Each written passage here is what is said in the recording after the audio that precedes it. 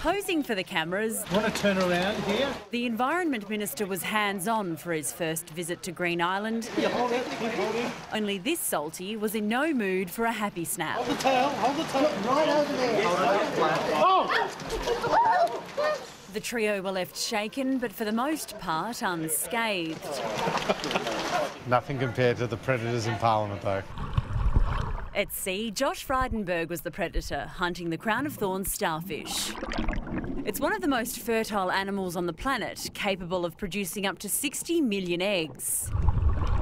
Divers in charge of protecting the reef spend 240 days a year spearing tens of thousands of starfish with the fatal injection of ox bile. They're very difficult to find. Quite often they're down in between the reef matrix, underneath coral and inside holes and things. The chair of the Reef's Marine Park Authority says much of the eradication program has focused on tourism destinations off Cairns and Port Douglas.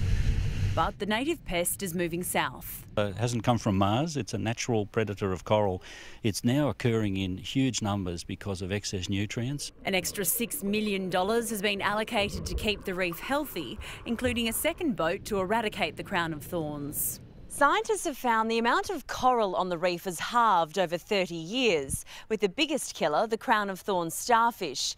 But there are other more difficult threats to manage, like tropical cyclones, coral bleaching, and water quality. The reef is surprisingly resilient. It's facing a lot of threats, and the problem that the reef has is it faces all those threats at once.